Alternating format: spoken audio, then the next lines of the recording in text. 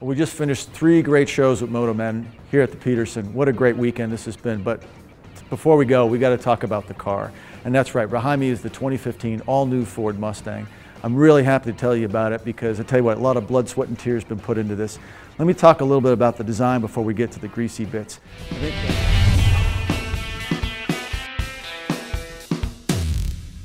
I think uh, one of the things everybody's noticing is how much lower the car is, and it is. Up in the front, we've lowered it 30 mil. The, actually, the roof is lowered 30, and it's down 70 mils in the rear.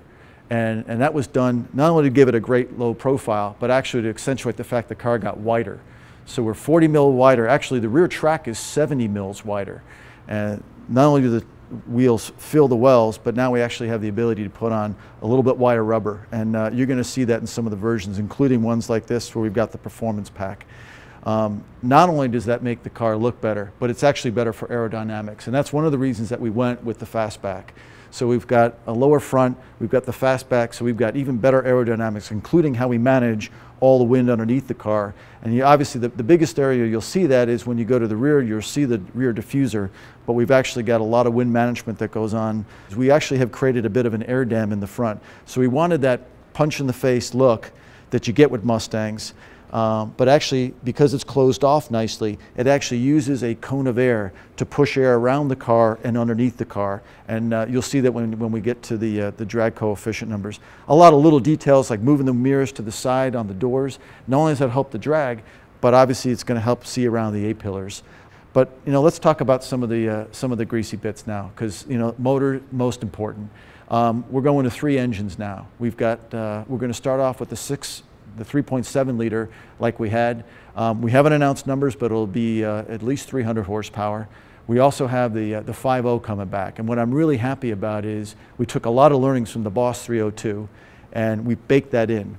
Again, we haven't uh, announced numbers, but uh, let's put it this way. It's going to be north of where we already were at 420. Well, the GT with the performance pack, our goal was to beat the Boss 302. Take a look at the rotors, 15 inches. These things are massive, great at dissipating the heat. We've got six piston calipers. It's not only on, on this performance pack, but you're gonna see the brakes improve on all versions of the car. Really, really proud of that. One of the reasons we were able to do that up front is we went to a double ball joint front suspension, um, which not only again is good for being able to package such large brakes, but it also gives you better anti-dive and anti-squat properties. I tell you what, what's really nice, rear independent suspension. Yes, we finally did it. And I tell you what, we that's had a Mustang we're looking at. We right? had a lot of debate about it because you know at the end of the day, and take a look at the Boss with a live rear, which gives you you know um, a lot of good properties. Uh, we knew that the team and the team knows the suspension really well, but we finally decided to go and actually, I tell you what, we're really happy with the end result. But let me just go back and talk about the engine because I think the biggest news is we're putting a, an EcoBoost in, a 2.3 liter um, that's going to put out at least 310 horsepower. And it is truly the end solution. The torque numbers you're going to get, you're going to love. And, it, and what I also love is the fact you get that torque at a really low uh, 1500 RPM is where you hit max torque. So I don't care where you tip in, you're going to have that instant on power. So the torque on the four cylinder is that going to be more or less than the V6? It's going to be more than the V6. So it's, it's a great complement in the lineup. So we're going to start with the V6, then we're going to move up to the EcoBoost, and then of course the, the five liter is going to top it all off. Let me, let's come around to the driver's side. And I tell you what, this is a great story because you know we've got the looks on the outside, we've got the capability built in and out, but now you're going to have a driving environment that we're really excited about.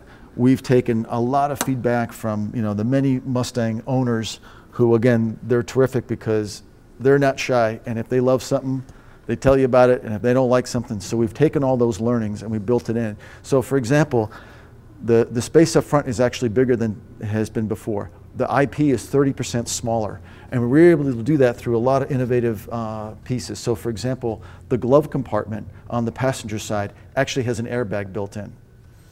You have knee airbags we're uh, right behind the, the front steering wheel. The so glove compartment has an airbag, or is it above airbag. the glove? No, nope, it's built into the door of the airbag of the glove compartment. Really great innovation that lets us actually push the whole instrument panel further up and make it smaller, so you get more passenger uh, compartment. The seat's going to actually have more travel. The steering wheel, which is actually a little bit smaller than before, actually has um, will uh, move in and out 40 mils and has a greater uh, range of rake when you move it up and down. When you combine that with what we've done on the center console, we actually moved the cup holders further away from the driver so that um, it's going to be actually easier to shift. The shifter is closer to the driver. And so when you put that together with these fantastic seats that really hold you in place, when it's leather, they're all heated and cooled. And then we've got a great grippy cloth on the GT base, and of course, Recaros are available across the line. Even in the V6 and the four cylinder. On the, on the four cylinder, not on the V6. Mm-hmm. So when you put that all together, you got these great seats, you got this super adjustable uh, steering wheel that's going to feel fantastic in your hands. You got a shifter that's closer. It actually shifts, shorter shifts. They're more positive in terms of the gear that you're finding, um, and the uh, when you when you feel it, it's going to feel you know spot on. It just clicks right in place. Feels fantastic. And in fact, if you flip to the uh, and go automatic and get the six-speed automatic, um, it now has paddle shifters standard, and it rev matches on the downshift.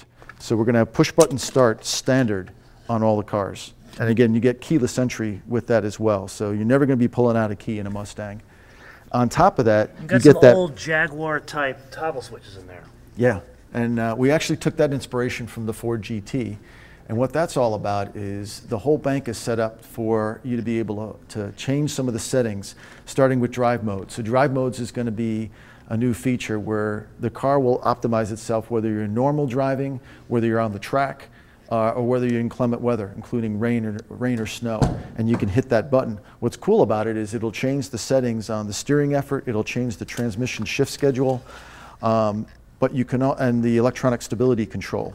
But what you can also do then with a flick of the switch is override any one of those. And you don't have to dig into the menu in the touchscreen. You'll be able to just to say, hey, you know what? I want to be in uh, track mode, but I actually want the steering to be a little bit lighter. No problem. You flip a switch and you can change that. The same thing on the stability control. You want to turn it off or, or uh, change the setting compared to what the, the standard mode would be.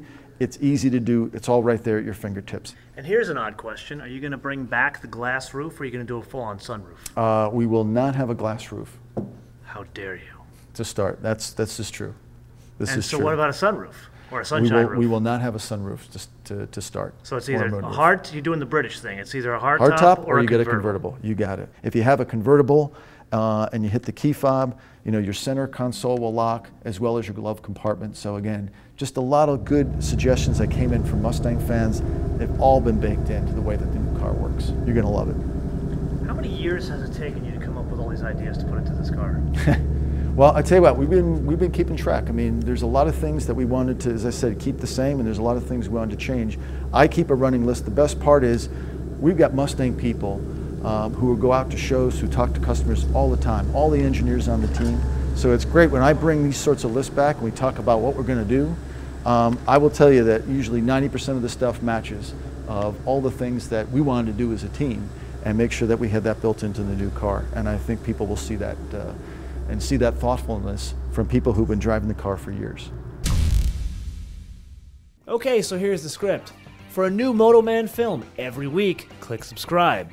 And to get a sneak peek of what's coming up on the show, follow us on Facebook, Twitter, or Instagram, Motoman TV, all one word.